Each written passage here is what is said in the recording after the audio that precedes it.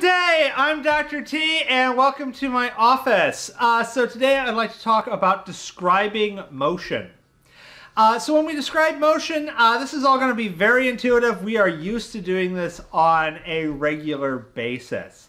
Uh, so obviously kind of the, the basic foundation is, well, where is the stuff? So, you know, if I have a thing and it's here and then it's now here, then obviously it moved. Uh, so my first point of reference will be position. Now, I can look at the change of position and like, okay, so it did this. Well, the next logical thing to ask is, well, how quickly did it change the position? Uh, so in that case, I need to figure out how much it changed its position, uh, which is what we call delta. Whenever you see the Greek letter delta invoked, uh, it's almost always, there are a couple exceptions, but almost always saying take the final and subtract the initial look for the gap between the two. So we're going to take the change in position, delta p, and divide that by uh, the time. How long did it take to go from one spot to the other? And that gives us uh, speed. And you're used to this, you know, you're thinking miles per hour. It's like, okay, so how many miles did you get for driving an hour? Uh, or, you know, scale that down a little bit, because usually you don't do it on, you know, the whole hour. Uh, now, as uh, scientists, we typically don't work with speed as much. That's what we call a scalar quantity. Uh, that has a magnitude, so that has a number, how fast you're moving, uh, but doesn't describe things like direction.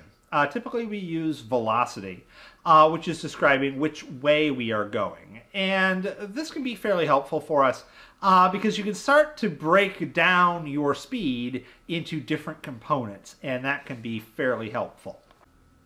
Okay, so you're going to notice in the next few videos, I'm going to be using this graphic of a cannon. So it'll be over there somewhere.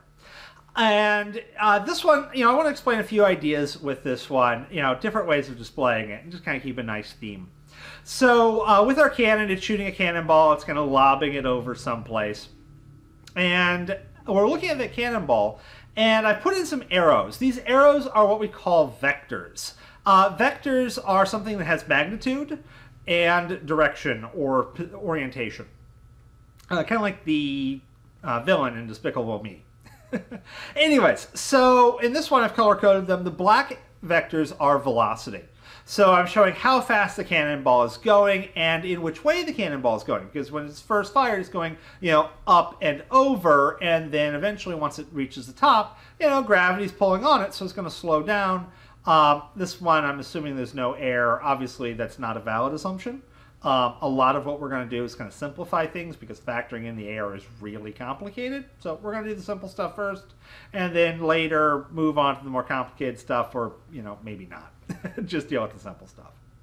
Okay, uh, so now we can look at that, and you notice how the, the arrow shrinks and it changes direction, and that's you know relative to the uh, how the cannonball would be doing. And once it gets towards the top, it's going to start speeding back up again as it falls back down. Now that's your black arrows. Uh, you'll notice though there are some red arrows, and they're kind of forming a triangle with those black arrows. When we're talking about vectors, it's sometimes helpful to split them apart. So I could say that black arrow is really two different velocities, a horizontal velocity and a vertical velocity. So at the start of my cannonball's uh, trip, then it's going to be going up and over, and gravity is going to be pulling down on it. And so it's going to be slowing down, but that's not going to slow down how fast it's going horizontally. Air resistance would, but we're assuming this is like on the moon or something, and there's no air. So that one's not changing. So now I'm looking at my velocity. The upwards velocity is changing. And notice how that red arrow going up as you go across is getting smaller and smaller to the point where you're at the top, it's it's imperceptible. Uh, the the upwards red arrow is gone. You only have the horizontal red arrow. That horizontal red arrow stay pretty much fixed. And so this is a way to look at these uh, velocities. When you have vectors, you can do math with them. Uh, so obviously, if I've got two vectors that are going in at right angles, hey, I can form a right triangle. You know, good old, uh, you know, square of each side, you know, sum of the squares of each side equals the square of the hypotenuse. Insert hippopotamus joke here.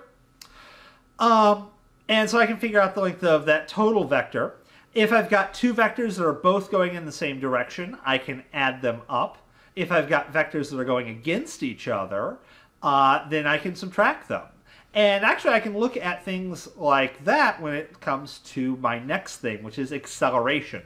Acceleration, uh, you know, the thing the button on the floor of your car does, uh, that is going to be the change in velocity over time. So if you notice, uh, up until you hit a certain point, the harder you push on the button on the right hand side of the floor of your driver's side of the car, the faster you go. But it's not just the faster you go, it's the faster you go faster. So if you put on just a little bit, you'll speed up and generally get you know coast up speed. But if you just slam it right from dead park, you're gonna burn some rubber and gun it. Not recommending you do that, by the way. Please drive safely. Uh, so this is an idea of acceleration. We're taking delta v now, so no longer delta p, no longer change in position, we're now talking change in velocity, and we're dividing that by time. How long does it take to get up to or change your velocity? Because, hey, we can accelerate forwards or we can accelerate backwards. Your brake, you know, the other button on the floorboard, uh, that is an accelerator as well. It's just you're accelerating down you're, you know, you're decelerating. You're, you're accelerating in the other direction. So if we look at this one, you know, we're seeing an acceleration, uh, you know, right off the bat while it's in the barrel of the gun. Uh, it's being accelerated, and then as the cannonball's up, we see the deceleration from gravity. And what you would actually look at with the blue arrows, uh, had I drawn all of them, the sum of all the blue arrows from gravity, because the cannonball eventually, you know, stops, would uh, cancel out the vertical part of the acceleration from the cannon. So you can subtract them together. Now, of course, I didn't put in all the arrows because it would be a sea of arrows had I done that. Uh, but you get the general idea.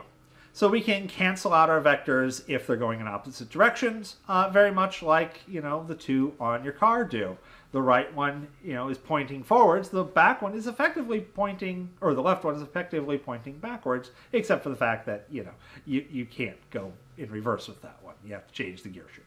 Uh, so with that said, I will see you next time.